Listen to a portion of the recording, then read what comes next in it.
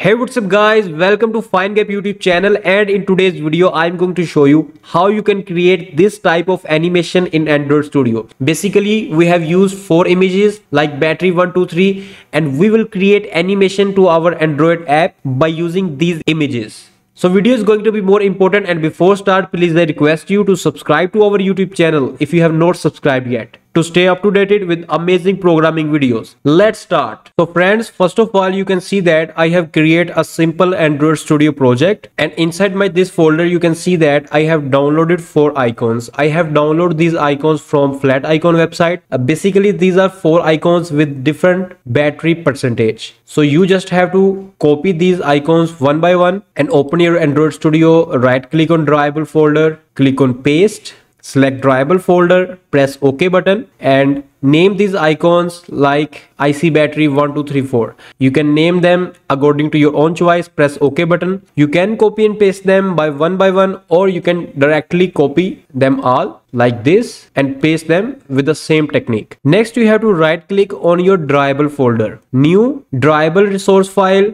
and name this animation. Press ok button and at this selector. Just change this selector to animation list. Inside this just create an item and type here android colon drawable and give first icon name. Next give duration. So i have typed 400 it means 400 millisecond. Next just copy this item and paste this item four times and ch change these icon names from 1 to 3 and 4 Next, open activity underscore main and here type for image view width 250 dp, height 250 dp, put forward slash I'm going to convert this from 250 dp to 150 dp and just click on this image view click on this align option and select horizontally in parent and vertically in parent. Basically it will constrain your this image view vertically and horizontally as well. That's why your image view is exactly at the center position. Finally you have to open the main activity and here type animation drawable i'm going to name this object battery animation. Semicolon and inside your on create method declare and initialize your image view. So type here image view is equal to typecast this. Find view by id r dot id dot. First of all we have to give the id to our image view inside our front end file. So just type here id and i'm going to name this iv underscore animations. It means image view underscore animation. Just copy this id open main activity and paste this id here or type manually iv underscore animation put semicolon at the end. And next you have to type here image view dot set